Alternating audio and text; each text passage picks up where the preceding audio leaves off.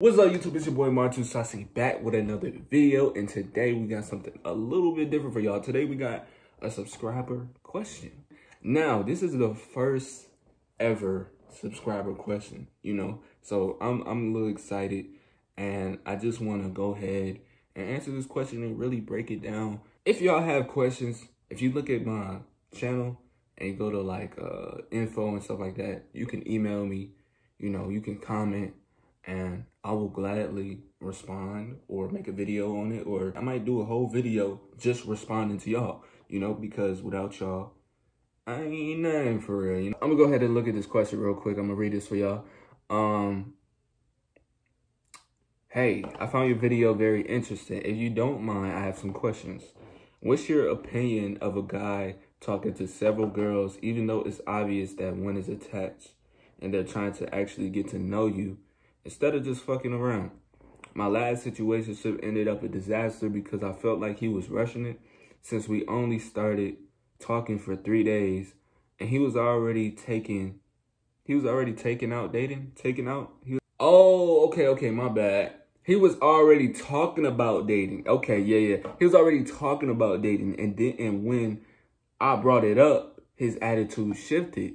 He then started talking to other girls around the school and stop texting me frequently and checking on me. I told him how I felt and I wanted him to know he hurted me because I was really interested into him. But he simply said he doesn't care for what I had to say and left. Is that shit right or am I just overreacting? It's, it's, it's as simple as this. If you brought up the relationship and he falls back, he doesn't want a relationship with you. He doesn't. He don't want a relationship with you.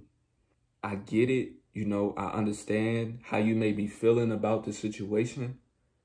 But at the same time, it's looking like he don't really want a relationship. Like, even though he may have talked about it, even though he may have said, like, hey, you know, maybe he meet, brought it up and, and said, you know, he probably don't want a relationship for real. You know? That's why he's talking to other girls you know, just being a single guy. You know what I'm saying? Now, was it wrong for him to kind of bring up a relationship? Yes, it well, yes it is. You know what I'm saying? Yes, it is because as a guy, you got to understand that women are more emotional when it comes to certain things. So even me, I have to be careful with the things that I say to women because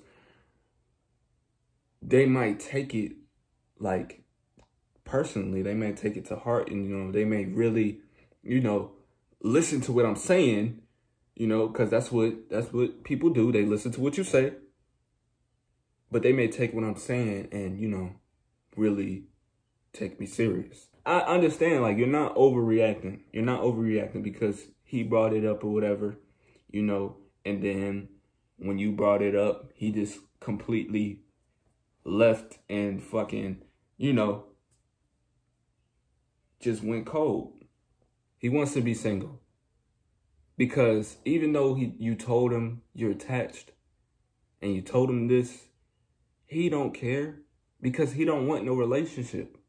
He doesn't he he doesn't want a relationship. He's talking to seven girls. He doesn't want to be attached. Let's say if you single and you talking to a lot of people and one of them is like, "Hey, I want to be I want to be in a relationship and this and that." But you know dang well you don't want to be in a relationship, you're going to stop talking to that one person and continue talking to the other six people. Stop being so vulnerable. Stop being so vulnerable because once a if a guy says, "Hey, I want a relationship," okay, cool. Don't like don't take that serious. Like let his actions back up his words because even I have said that before like I wanted a relationship.